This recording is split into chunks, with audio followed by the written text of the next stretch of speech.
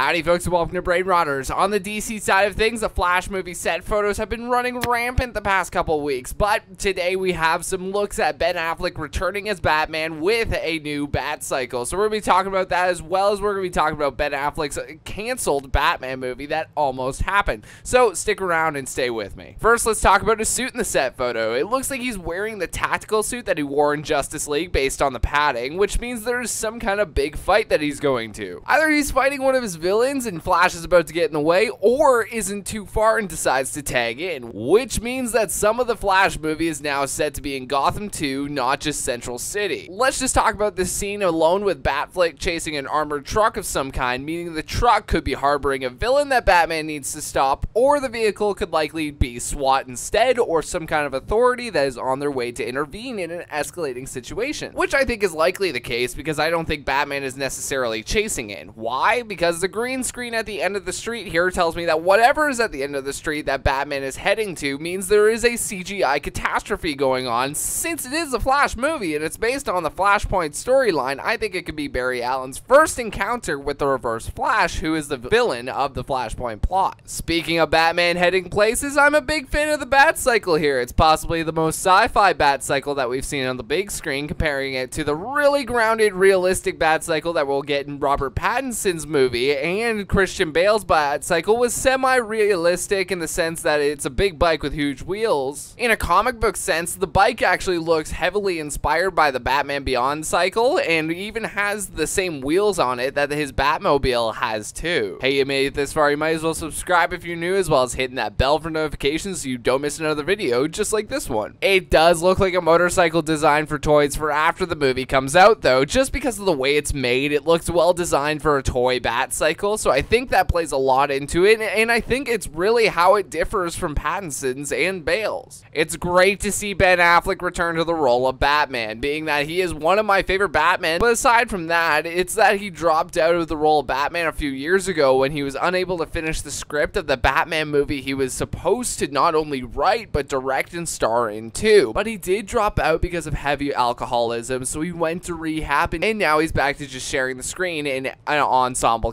as Batman. I mean, the whole reason we are getting Robert Pattinson's Batman movie is because DC wanted a new Batman movie and Ben Affleck couldn't deliver. With Batman's overall role in the film, it's either to officially kill off Ben Affleck's Batman or to continue his heroic mentorship with Flash that he started in Justice League, or to just cause conflict with the Michael Keaton version of Batman that will exist after Flashpoint. Thank you all so much for watching. What do you think of the set photos? What do you think of the Bat Cycle? What do you think of Ben Affleck being in the movie? I want to hear all your thoughts in the comments section below. Thank you for the massive support recently, by the way. So appreciated.